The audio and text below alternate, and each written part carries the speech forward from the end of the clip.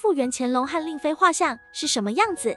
在乾隆一生之中，有着多位嫔妃，而这些嫔妃中有一名妃子名为魏佳氏，其被乾隆封为令妃。不同于其他皇室之中的妃子，令妃身份卑微，曾经是一名包衣奴。在挑选宫女时，魏佳氏因为其出众的容貌入选了宫女大名单中，但因为其是一位汉人，所以在后宫之中并未得到多少关注。但随着时间的推移，魏佳氏渐渐获得了乾隆的关注。其不仅长相出众，身上散发着独特的气质，并且十分聪明伶俐。在后宫之中，妃子们的生育能力也是影响其一生的重要因素。唯有能够为帝王诞下子嗣的妃子，方能获得帝王的宠爱，并且获得荣华富贵的生活。而令妃为乾隆生下了六个子嗣，让乾隆对其更加宠爱。